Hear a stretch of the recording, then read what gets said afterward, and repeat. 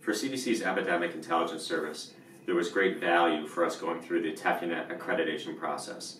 It was an opportunity for us to sit and look at everything that we did as a program, from how we recruit, select, train, and help graduates prepare to enter the public health workforce.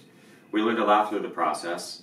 We gained really valuable feedback again through everything we looked at ourselves and the feedback we received from objective reviewers was really helpful in helping us further refine and strengthen our program.